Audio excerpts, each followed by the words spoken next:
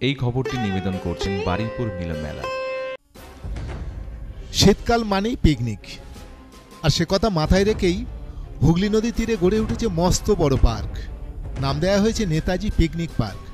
এটি গড়ে উঠেছে দক্ষিণ চব্বিশ পরগনা জেলার পূজালি পৌরসভা দু নম্বর ওয়ার্ডে। প্রায় দশ বিঘা জমিতে গড়ে উঠেছে এই পার্কটি। এখানে একসাথে সাতাশ থেকে তিরিশটি পিকনিক পার্টি পিকনিক করতে পারবে। রয়েছে অনেক কটেজ। সেগুলি ভাড়া নেওয়া যাবে।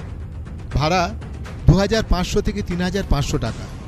এই পিকনিক পার্ক করতে খরচ হয়েছে প্রায় ছ কোটি টাকার মতো।